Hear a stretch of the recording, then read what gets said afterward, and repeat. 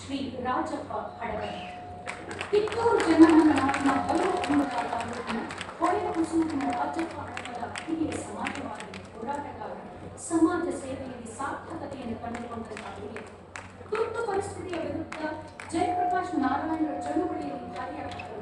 ನಿರಂತರವಾಗಿ ಸಮಾಜಮುಖಿಯಾಗಿ ಜನಪರ ಹೋರಾಟಗಳಲ್ಲಿ ತೊಡಗಿಸಿಕೊಂಡವರಾದರು ಅವರ ತತ್ವ ಸಿದ್ಧಾಂತಗಳ ಪಾಲನೆಗೆ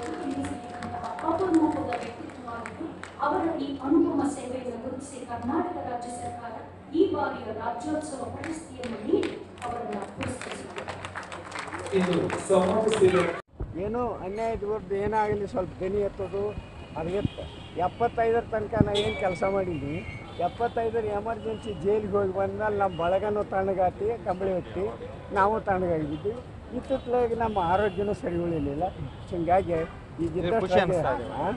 ಪ್ರ- ಪ್ರಶಸ್ತಿ ಸಿಕ್ಕಿರೋದು ಖುಷಿ ಅನಿಸ್ತಾ ಇದೆ. ಖುಷಿ ಆಯ್ತು ಖುಷಿ. ಸಲೂನ್ನಿಂದ ಸಮಾಜವಾದ ಸಮಾಜವಾದದಿಂದ ಪ್ರಶಸ್ತಿವರೆಗೆ ಇಲ್ಲದ ಪಯಣ ನಿನ್ನ ಜೀವನದಾಗ ಫುಲ್ ಖುಷಿ ಆ, ಖುಷಿ ಅದು ಖುಷಿ ಕೊಟ್ಟ ತನಕ ಅದರಿಂದ ನನ್ನ ಭಾಳ ಮಂದಿಗೆ ಪರಿಚಯ ಮಾಡಿ ಕೊಟ್ಟದು ನನ್ನ ಸಮುದ್ರವಾಗಲಿ ನನ್ನ ಸಮಾಜವಾಗಲಿ ಇಲ್ಲಾಂದ್ರೆ ಆ ವ್ಯವಸ್ಥೆದಾಗ ನಾ ಇಲ್ಲಿಲ್ಲ ಅಂದ್ರೆ ನಾ ಯಾರಿಗೂ ಗುರುತಾಗಿರ್ತಿದ್ದಿಲ್ಲ ಒಬ್ಬ ಕ್ಷೌರಿಕ ಆಗಿರ್ತಿದ್ದೆ.